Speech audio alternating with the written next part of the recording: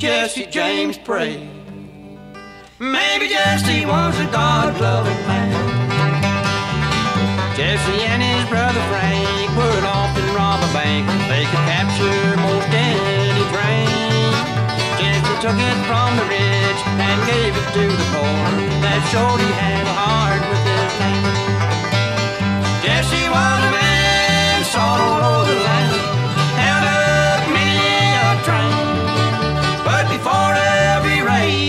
Jesse James prayed. Maybe Jesse was a God-loving man.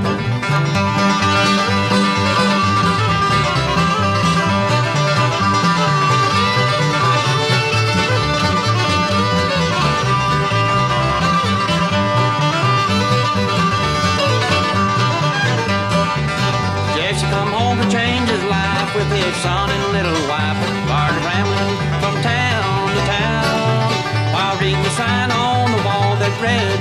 Bless our home. A shot in the back brought Jesse James down. Jesse was a man sought all over the land. Held up a train. But before every raid, Jesse James prayed. Maybe Jesse was a God-loving man.